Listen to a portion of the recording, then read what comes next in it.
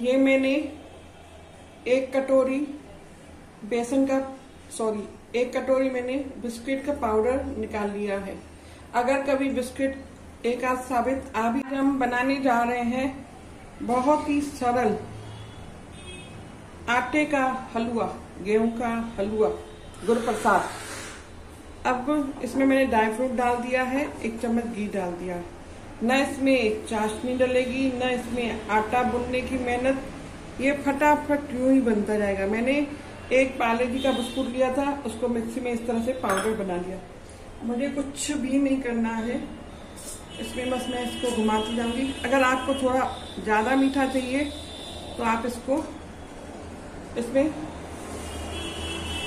शक्कर डाल सकते हैं। अगर आपको थोड़ा सा ज़्यादा मीठा चाहिए। मैं इसमें शक्कर नहीं डालूँगी।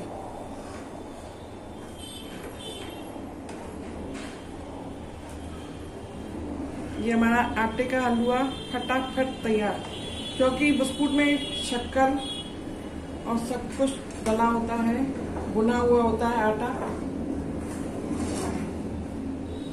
अब हम इसमें थोड़ा और पानी डालेंगे।